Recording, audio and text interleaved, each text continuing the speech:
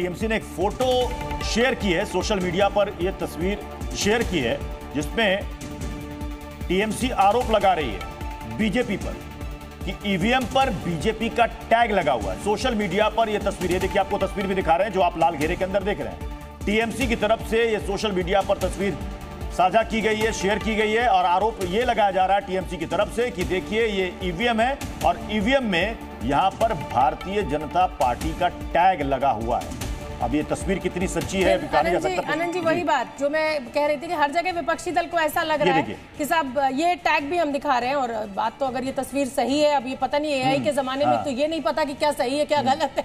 तो इसलिए जी न्यूज़ एक जिम्मेदार चैनल है ये तो टीएमसी के द्वारा ये तस्वीर शेयर की गई है। हो सकता है कि शोभना यादव का एआई भी कुछ बोलना शुरू कर हाँ दिया इसीलिए आजकल तो इसीलिए डर लगता है। इसीलिए डर लगता है। आनंद जी जो सवाल मैंने आपसे पूछा था और आपका जवाब।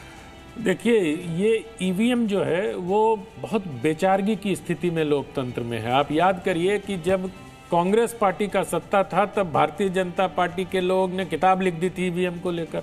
हाँ हाँ। है ना? आडवाणी जी प्रेस कॉन्फ्रेंस किया करते थे ईवीएम को लेकर। अब ये स्थिति पलट गई। तो मुझे लगता है कि हमारा जो इलेक्शन का एडमिनिस्ट्रेशन है इलेक्शन सिस्टम है वो बहुत रोबस्ट है। और लेकिन voting percentage को लेकर ईवीएम मैं आ रहा हूँ उस पर बस जल्दी आ जाऊँगा आप।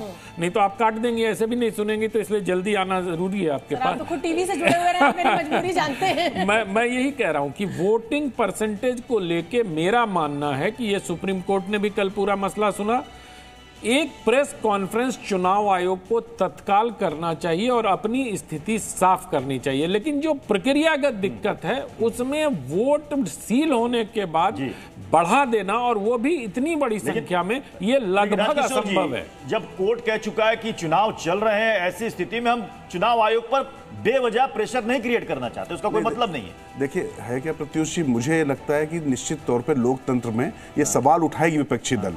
ये कहेगा ये उनका हक है और बीजेपी भी जब विपक्ष में होती है, जहाँ पर है, वो उठाती है। टीएमसी खिलाफ उठा रहे ना कि वहाँ पर गुंडागर्दी चल रही है। ये होना चाहिए। लेकिन जो ये आंकड़ों की बात है, इसमें बस एक लाइन बोलना चाहूँगा मैं पिछले 2019 के चुनाव में भी डेढ़ से साढ़े तीन प्रतिशत तक वोट बढ़ा था।